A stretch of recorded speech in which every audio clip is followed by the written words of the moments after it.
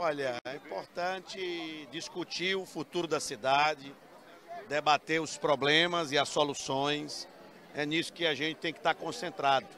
E fico feliz, claro, politicamente, a nossa base está toda unida em prol da pré-candidatura do Fábio Novo. Mas é uma caminhada longa e o mais importante é esse debate, essa conversa, essa escutativa para poder gerar um plano de governo realmente alinhado com as expectativas da população com os anseios do povo e especialmente um plano que seja crível, que a população realmente entenda que é o melhor caminho para a resolução dos seus problemas. Como é que vai ser o envolvimento do governador nessa campanha?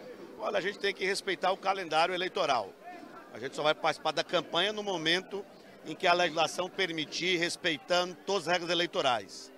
É claro que eu posso, obviamente, participar de encontros partidários, como sempre eu faço, mas a campanha propriamente respeitando sempre a regra eleitoral.